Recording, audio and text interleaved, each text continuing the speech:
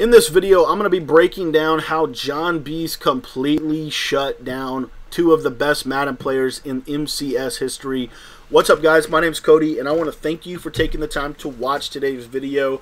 Uh, I do Madden 21 daily tips and tricks, videos that are designed to help you get better at this game. And so if you are interested in getting better at Madden, I would highly encourage you to go ahead and click the subscribe button at the bottom right hand corner of your screen.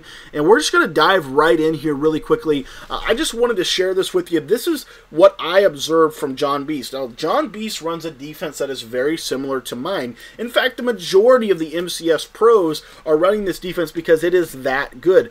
JonBeast runs nickel 335 wide. I know nickel 335 wide very well because I literally just released an ebook about a month ago on how to run the best nickel 335 wide in Madden. We went through everything. We showed you how to stop everything in it. And if you want to get that ebook. That link is in the description. I also have a free sample of that ebook in available for my text message members. So all you got to do to sign up for the text membership is just send me a message. My number is in the top left hand corner of your screen.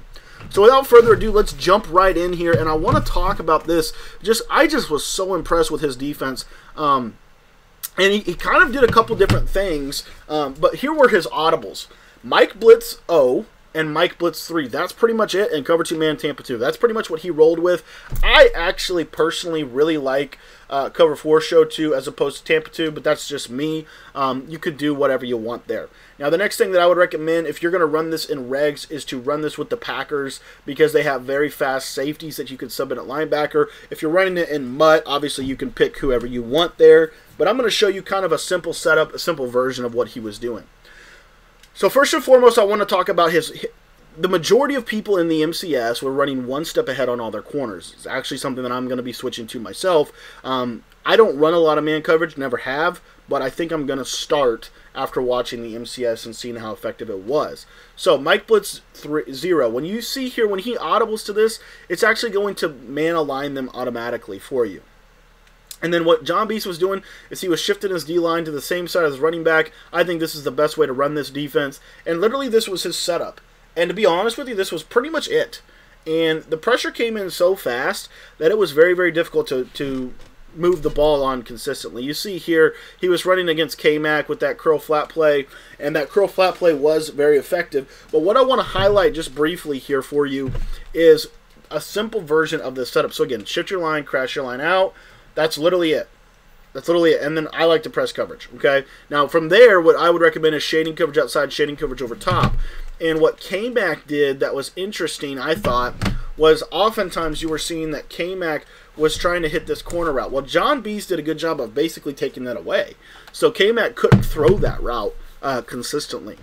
And then from there, it's just adjustments. Honestly, that's the base blitz. But the beauty of it is you can do the same blitz out of Mike Blitz 3. You see here, I shifted my line to the right. I crashed my line out. That was it. And as you can see here, this the blitz is going to be coming in. Obviously, the running back blocks if the running back doesn't block, the blitz comes in. So if you notice that the running back is blocking, this was kind of one of the things that I thought was really, really interesting from JonBeast, was he would do something essentially like this. He would take L1, this is what I would do anyway. I would basically take the safety and I would run him off. Run him off like right there, right? And then I would just blitz him. And I think JonBeast did this literally in the game. And then that way, if they're blocking their running back out of like curl flat or something, you just start on the right side on the on the tight end, you still get the instant pressure off the edge.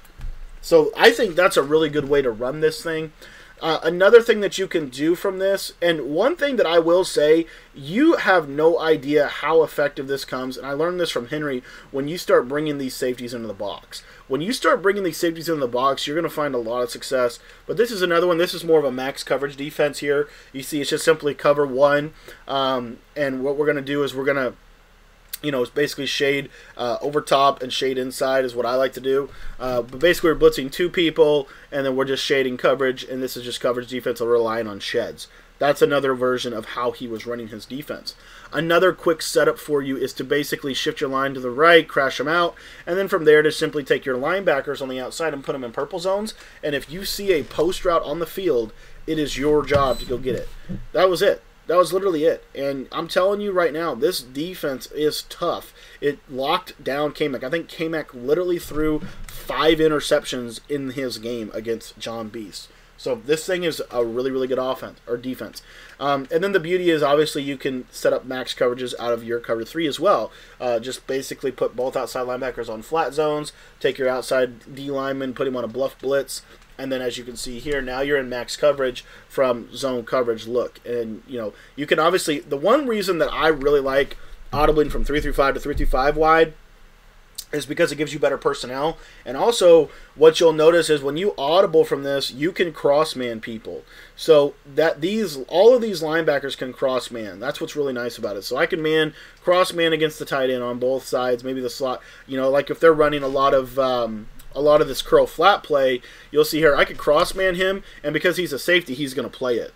So those are some things that JonBeast was doing in his his offense or defense. Obviously, if they try to run the ball, out of this, this is really good run defense as well. You'll see here you can just shoot the gap right down the middle and be able to stop the run. It's the best defense in Madden. So if you want to pick it up, the link's in the description. Also, if you want to uh, message me, my number is 812-216-3644. If you have any questions, you can always text me. And I also have a free sample of the 335 wide, a little bit more in depth, about an hour long of a sample preview guide uh, to the ebook. So let me know if you want to pick that up. Thanks for watching, guys, and we'll see you tonight at 10 o'clock p.m. Eastern Time.